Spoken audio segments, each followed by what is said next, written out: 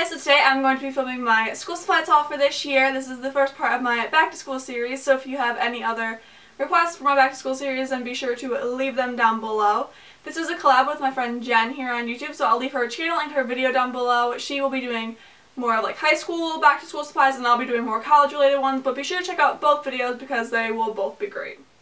So I will be a freshman this year in college. I'm using some supplies from high school like my calculator, and some other miscellaneous things, but most of these supplies are just things that I think I will need and I don't really get like a list or anything, so these are just products that I know will help me in college and I take my notes a really specific way, so if you guys want a video like note-taking tips or stuff like that, then be sure to leave a comment down below and let me know. Be sure to give it a thumbs up and subscribe if you like it, and let's get started.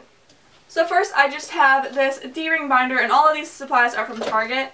So it is just a 2 inch navy blue binder. And to go inside of it, I have these divider tabs. They're the 5 star brand and there's just the five different tabs. I have five classes my first semester, so I figured this would be easier than getting a bunch of smaller binders since I go back to back in my classes, then I'll just have this with me.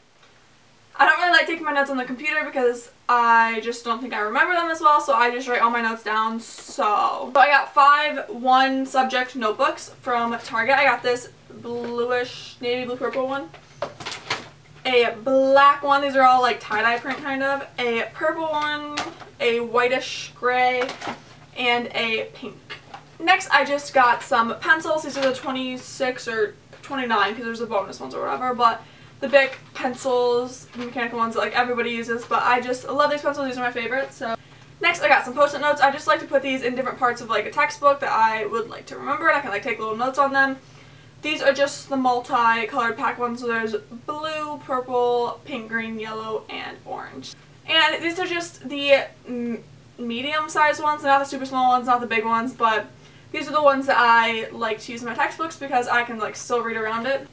Next, I got some highlighters. There's four, two yellows, an orange, and a pink, and they're the Sharpie brand, and I just highlight textbooks, notes, everything, just so I can remember everything better. Next, I have some pens. There are six blue, hmm, not six blue, six black and two blue pens, and I like writing in pen, usually in my notes, actually, because I feel like I just remember better. I don't really know. Somebody told me that once, and so I did it, and now I just do it all the time. And lastly, I have two packs of index cards. I have the multicolored packs and and I just use these to remember like terms and stuff to flip through or whatever. So that was my school supplies haul. I know it wasn't too exciting, so if you guys want any other back to school videos or college related videos, then be sure to leave a comment down below. I hope you guys enjoyed this video. Be sure to give it a thumbs up, subscribe, and comment, and I will see you guys in my next video. Bye!